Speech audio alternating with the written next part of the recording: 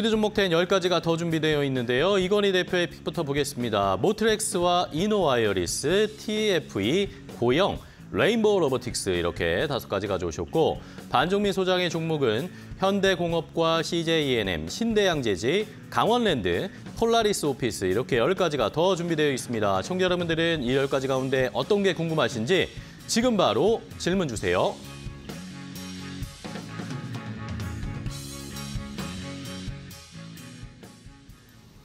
자, 두 분이 이렇게 좋은 종목 10가지를 더 공개해 주셨습니다. 시청자분들 잘 보셨죠? 이 리스트에 있는 종목들 가운데 여러분들이 가지고 계시거나 아니면 관심이 생겨서 어, 좀 전략을 알고 싶다 하시는 분들은 질문을 주시면 됩니다. 유튜브 라이브 댓글창과 샵 3772번 문자로 지금 바로 질문을 주시면 두 분이 자세하게 그런 내용을 포함해서 설명을 해 주실 테니까 많이 참여해 주시면 되겠습니다.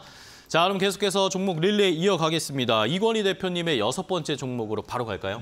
네, 일단 모트렉스 이제 오랜만에 모트렉스. 들어보셨을. 들어보셨, 들어보셨, 들어보셨을 텐데 어, 일단 자율주행 관련 종목으로 좀 많이 알려졌던 종목인데 최근에 종목을 보면 계속 지금 우하향을 하고 있다가 바닥을 좀 잡는 모습인 것 같습니다.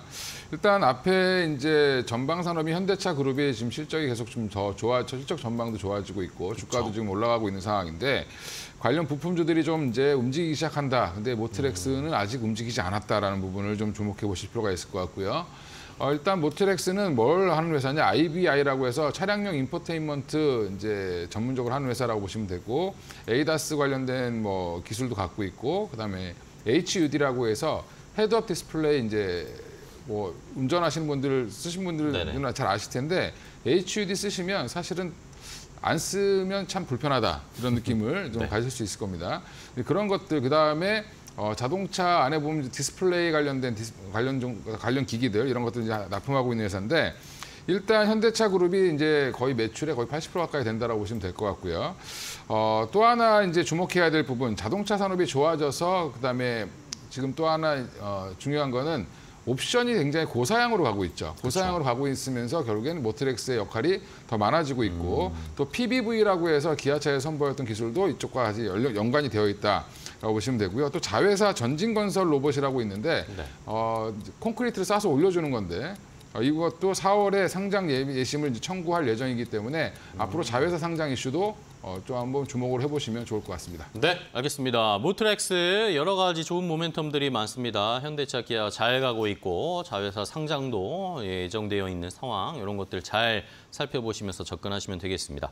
자, 이번에는 반종민 소장님의 여섯 번째 종목이죠. 네, 현대공업이고요. 현대공업. 이거는 계속 좀 비중을 모아가시면서 그 분할 매매 관점으로 접근을 해보셔도 될 것 같고요. 네. 특히 이제 동사의 경우에는 자동차 내장재 전문 생산 업체입니다. 그러면서 이제 시트와 관련된 기업인데 현대 기아차의 주요 협력체다라고 보시면 될 것 같고요. 협력사라고 보시면 될 것 같고 자동차 시트에 대해서는 거의 좀 많이 좀 진행을 하고 있다 보니까 앞으로 좀 주목을 해야 되는데 올해 이제 동사가 그 루시드의 1,600억 원 규모의 시트 양산을 좀 공급할 계획입니다. 그렇다 보니까 여기에 대해서는 좀 작년 12월에 이러한 계약을 체결했는데 이제 본격적으로 양산이 되다 보니까 네. 매출적인 부분들을 앞으로 좀 기대를 해볼 수 있겠다라는 말씀을 드릴 수 있을 것 같고요.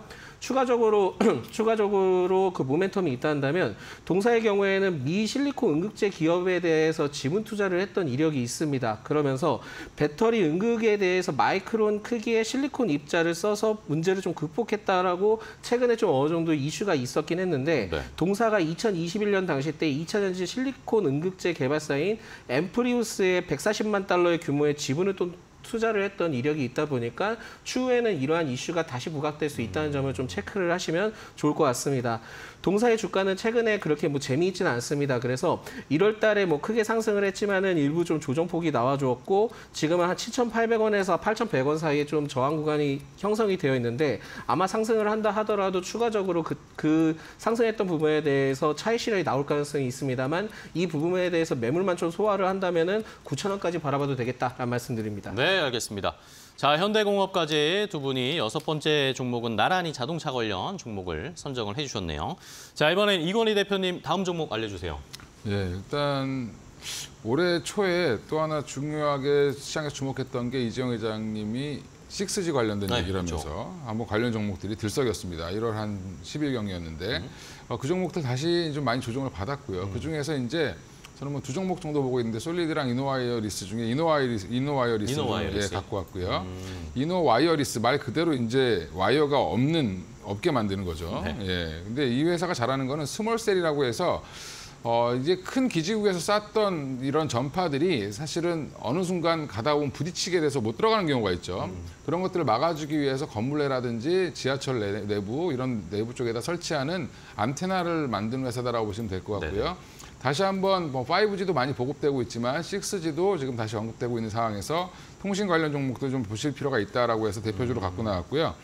일단 차량용 그 외에도 이제 이노아이리스는 또 모멘텀이 하나 더 있는데 아까 네. 모트렉스는 전진 건설 로- 건설 로봇이 이제 중요하다고 얘기 말씀드렸는데 이노와이어리스 같은 경우는 차량용 반도체 업체인 명성 라이픽스라는 회사를 인수했습니다. 그 어. 안에 라이픽스가 건설 사업 부분을 갖고 있었는데 이 부분은 떼어버렸고요. 네. 그래서 지금 오히려 오- 오로지 이제 차량용 반도체 기업으로 이제 자회사를 갖고 있다라는 부분도 지금 차량용 반도체가 점점 커진다는 거는 누구나 다 알고 있죠. 네. 그게 뭐 전기차가 됐든 아니면 지금 한참 유행하고 있는 하이브리드 카가 됐든 간에 차량용 반도체 관련된 수요는 증가하고 있기 때문에 이노와이어리스 지금 유보율도 굉장히 높고 통신 장비 업체 중에서 또 실적도 잘 나오고 있는 회사이기 때문에 향후에 자회사까지 이 부분을 더해준다라고 하면 어, 건실한 기업이 될 거라고 생각하고 있고 최근에 주가 보면 한번 상승 후에 조정이 잘 나왔습니다. 이쁘게 어, 다시 한번 우상향할 가능성이 높다. 저점 계속 높아지고 있다는 부분 주목해 보시면 될 것 같습니다. 네, 좋습니다. 이노와이어리스 통신주들도 연초에 저희가 관심 많이 갖다가 지금 또 한풀 꺾였습니다. 오히려 이런 때 좀 살펴볼 필요가 있다라는 의견으로 이노와이어리스 저희도 한번 잘 살펴보겠고요. 자, 이번에는 반 소장님의 다음 종목 어, CJ ENM 가져오셨죠? 질문이 들어왔습니다. 유튜브에서 장민님께서 CJ ENM을 15만 9천 원에 비중 15% 정도 가지고 있는데 추가 매수를 하고 싶은데 어, 추매 시점을 알고 싶다. 추가 매수 후에 어느 정도의 매도를 해야 할까요? 10만 원대까지 맞추면 탈출할 수 있을지 어, 반 소장님의 의견이 궁금하다라고 주셨습니다. 예, 아, 지금 말씀하셨던 10만 원대 탈출을 좀 보고 접근을 해보셔도 될 것 같습니다. 그래서 딱 적당한 타이밍이다 생각이 들고 있는데 어. 적은 비중으로 계속 좀 모아가 그 확대를 하시는 게 제일 좀 중요한 포인트가 되지 않을까 보고 있고요. 저는 이 동사의 경우에 대해서 좀 앞으로 지켜봐야 될 게 뭐냐면 작년 4분기 때 영업이익 그 587억 원 그러니까 전년 대비 788% 증가를 했다는 게 의미가 되게 크거든요. 네. 근데 이게 적자 자회사의 실적 개선이 굉장히 좀 주요했다라고 보시면 될 것 같고 뭐 피플스 시즌 뭐 여러 가지 뭐 이 내용은 좀 건너뛰고 음악 부분에 대해서 역대 최대 영업이익이 발생이 됐다 합니다.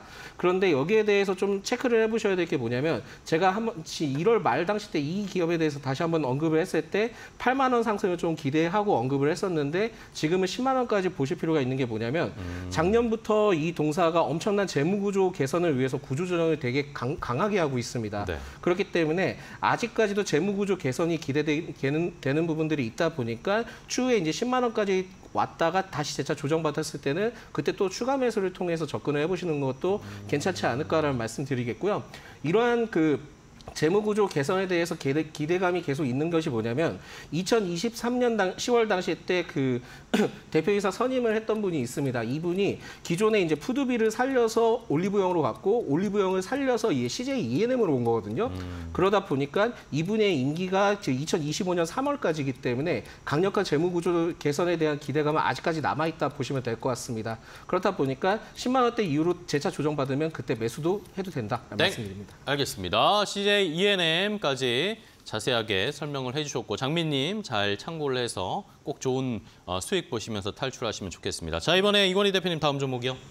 예, 뭐 지금 가장 핫한 반도체를 얘기 안 할 수 없어서 그쵸. 한 두 종목 갖고 나왔는데 TFE를 한번 말씀드리겠습니다. 음. 최근에 이제 보면 SK 하이닉스 양으로 나가는 이제 부품주들, 그다음에 장비주들이 이제 좋은 흐름을 이어가고 있는데 TFE는 안타깝게 삼성전자양입니다. 네. 하지만 이제 앞으로 주목해 보셔야 될 거는 삼성전자가 추격을 하고 있는 상황이기 때문에 관련해서 HBM이라든지 뭐 DDR5 같은 신규 제품에 대해서 결국에는 성장을 이뤄낼 텐데 그렇게 되면 TFE 같은 경우는 여러 이제 소모품들을 납품하는 회사로 보시면 되고요. 일단 반도체 패키지 테스트에 사용되는 부품을 턴키 방식으로 다 공급할 수 있는 회사 한마디로 그게 여러 부품들이 있는데 이런 제품들을 한꺼번에 공급할 수 있는 회사는 TFE밖에 없다 국내에서 특히 이제 그러다 보니까 삼성에서 이제 픽을 받았다라고 보시면 될 것 같고요. 특히 이제 뭐 아까 말씀드린 HBM, DDR5 관련돼서 계속 지금 어떻게 보면 고사양으로 가고 있는 상황인데 관련된 소모 부품들이 계속 많이 들어갈 수밖에 없다라는 부분에서는 TFE로 주목해 보셔야 된다. 뭐 ISC라든지 뭐 지금 최근에 좋았던 어, 회사들 이제 부품 회사들 리노공업 같은 경우처럼 TFE도 여전히 상승 여력이 남아 있다라고 말씀드릴 수 있을 것 같고요. 일단 차트 한번 보여주시면 주봉상 주목받은 삼성양으로 주목받으면서 작년 6월부터 급등을 했죠. 그리고 지금 기간 조정을 잘 받고 있다. 한 두 달 정도, 두 사, 두세 달 정도 쉬고 있는데 다시 한번 정고점 돌파는 충분히 나올 수 있을 거라고 생각하고 있고 여전히 지금 주가는 매력적이다라고 말씀드리겠습니다. 네, 좋습니다. TFE도 관심 있게 지켜볼 만한 종목으로 소개해 주셨고요. 자, 이번에 반 소장님 종목 바로 갈게요. 네, 신대양 재지고요. 신대양 재지. 이 신대양 재지가 좀 그 아이러니하긴 하지만은 더 매수 관점으로 유효하다라는 말씀 먼저 어, 드리겠고 네. 골판지용 그 원지 제조 및 판매 업체입니다. 그러면서 골판지 원지 그 제조 업체 업을 영위 기업에 대해서도 좀 보유를 하고 있다 보니까 결국은 이제 뭐 종이 목재 관련된 기업이다라고 좀 쉽게 설명을 드리겠고요.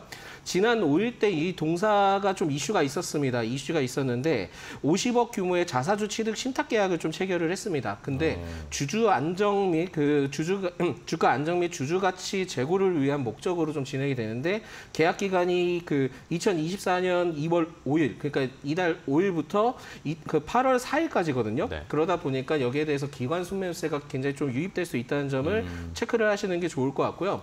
다만 이제 그 작년에 좀 이슈가 있긴 했습니다. 그 5월 당시 때 SG 사태로 인해서 급락을 했었는데 그 이후로부터 7월부터 기관의 순매수세가 계속 좀 꾸준히 유입되고 있다는 점을 봤을 때는 오히려 지금은 매수 관점으로도 따라가 볼 필요는 있을 것 같다라는 말씀 드리겠고요. PBR이 한 0.44 정도 되는데 그렇게 좀 높은 편이지 않다라고 생각이 들고 있고 최근에 이제 우상향 추세를 하려다가 지금 최근에 조정받고 있지만은 오히려 지금은 좀 매수 관점으로 기회가 될 수 있지 않을까라고 보고 있습니다. 그래서 전체적으로는 이 신대양 지지가 기존에 그 작년 5월에 좀 이슈가 있었던 것 빼고는 저희 현재 흐름들은 그렇게 나쁘진 않고 있고 네. 기관의 순매수세가 계속 좀 유입되는 점을 계속 좀 체크를 하시면서 접근하셔도 될 것 같습니다. 네, 알겠습니다. 신대양 재지까지 봤고요. 자, 이번에는 이권희 대표님의 다음 종목은 뭐죠? 예, 마찬가지로 이제 반도체 관련된 고영인데요. 고영. 이제 반도체 관련 장비주들 보시면 굉장히 우상향을 해서 부담스러운 차트들이 많은데 고영은 이제 바닥에서 이제 올라오고 있다라는 어. 부분이 중요할 것 같고요. 이제 on-device AI 관련돼서 그다음에 HBM 관련돼서 다양한 대상물에 대한 검사 수요가 확대되는데 네. 그러다 보니까 뭐 요즘에 적, 그 적정성 평가부터 시작해서 뭐 검사 장비, 뭐 테스트 장비 이런 종목들 이제 어, 계측 장비 뭐 이런 종목들 많이 이제 보셨을 텐데 네. 고영은 이제 검사 수요 확대에 따른 수혜, 수혜를 직접적으로 볼 수 있는 회사다라고 보시면 될 것 같고 차트 한번 보시면 그동안 이제 고영이 굉장히 탄탄한 회사였습니다. 월봉을 보여드리는 건데 꾸준히 올라오다가 옆으로 지금 횡보하면서 계속 이런 모습을 보이다가 실적이 좀 부러지면서 빠졌는데 다시 한번 제자리로 가고 있는 모습이고요. 주봉이나 월- 일봉 보시 주봉 보시면 이제 고개를 드는 모습이죠. 이런 모습에서는 충분히 따라붙어도 부담 없는 자리다라고 말씀드리고 싶고요. 4, 1월 25일 날 한번 급등 이후에 조정을 또 다시 한번 잘 받았습니다. 그리고 또 하나 이 회사는 단순히 이제 반도체 관련된 회사뿐만 아니라 뇌 수술용 의료 로봇도 지금 하고 있죠. 그리고 smart factory 관련된 솔루션도 갖고 있기 때문에 로봇과 관련된 또 역할도 굉장히 중요하다. 특히 이제 올해부터 의료용 로봇은 본격적으로 이제 수출을 할 걸로 예상을 하고 있고요. 상용화를 지금 성공했기 때문에 본격적인 매출이 발생할 걸로 보고 있고 또 지금 smart factory 관련돼서도 반도체 관련된 장비를 만들고 있기 때문에 고영 앞으로 좀 더 주목해 보셔도 좋은 자리다라고 말씀드리겠습니다. 네, 알겠습니다. 반도체뿐만 아니라 로봇 쪽으로도 모멘텀이 있는 고영을 소개를 해주셨고요. 자, 이번에는 반 소장님 아홉 번째 보죠? 네, 강원랜드고요. 강원랜드. 이 강원랜드는 그 국내 유일 그 내국인 출입 카지노 운영업을 좀 영위를 하고 있습니다. 그러면서 외국인도 그 출입을 할 수 있다는 점을 체크를 하시는 게 제일 중요할 것 같고요.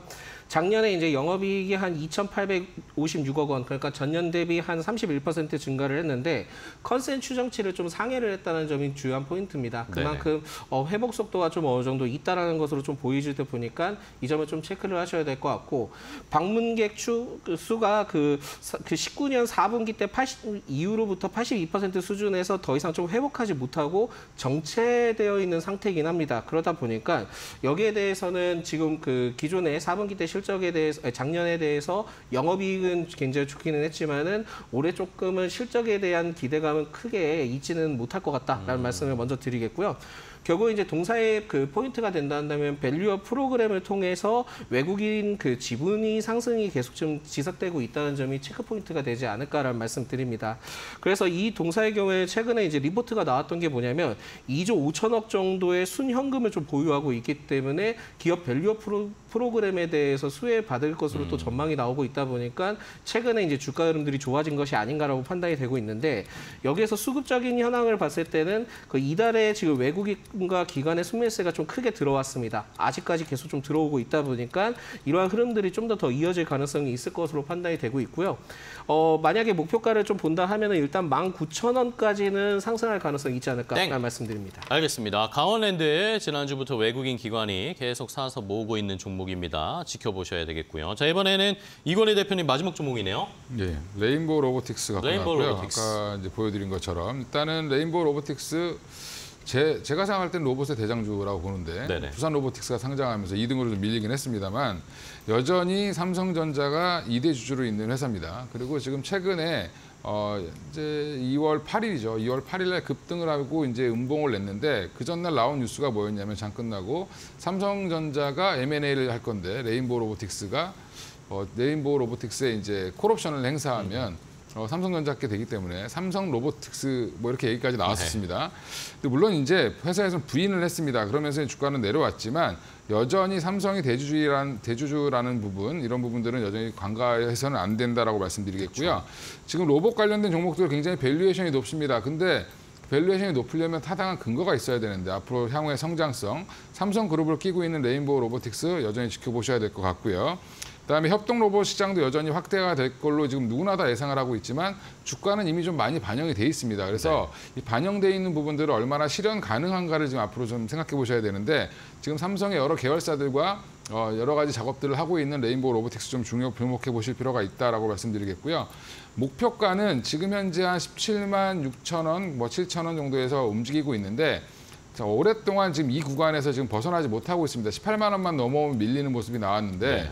어, 제가 볼 때는 여기서 한번 18만 원 돌파를 강하게 한다라고 하면 22만 원 전고점 부분까지는 충분히 상승 가능하다라고 말씀드리겠고요.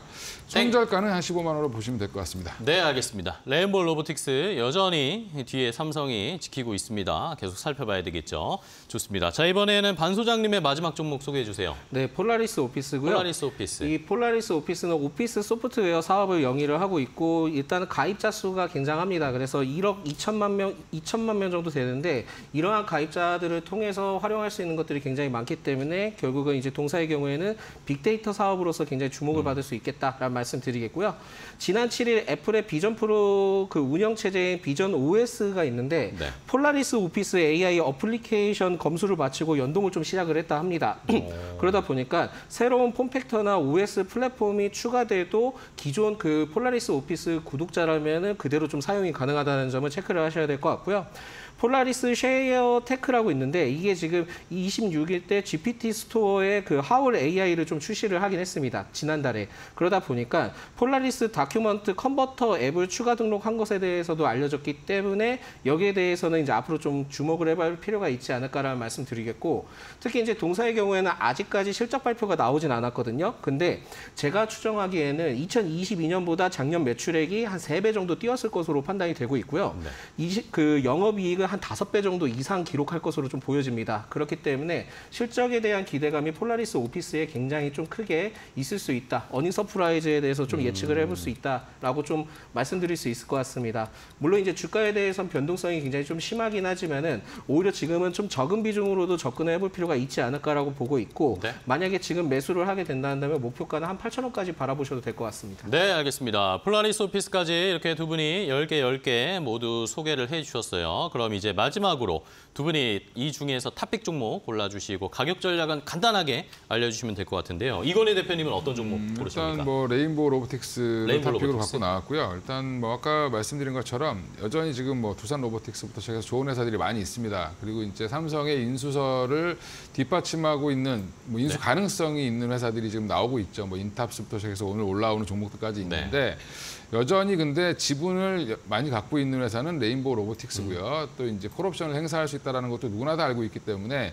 언제든지 삼성 회사로 바뀔 수 있다는 부분 그리고 현재 그게 바뀌지 않는다 하더라도 삼성에서 계속 지- 지속적으로 네. 이 회사를 밀어줄 수밖에 없다라는 부분을 조금 더 인지하시면 또 편하게 투자하지 않으실까 생각하고 있고요.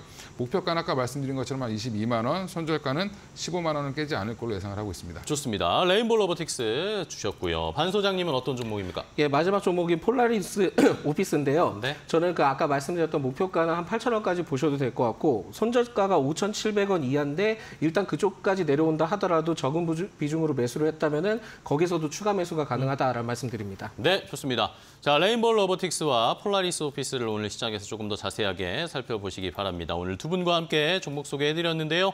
좋은 종목 알려주셔서 감사하고 다음 시간에 더 좋은 종목 많이 가지고 찾아와 주세요. 고생 많으셨습니다. 고맙습니다.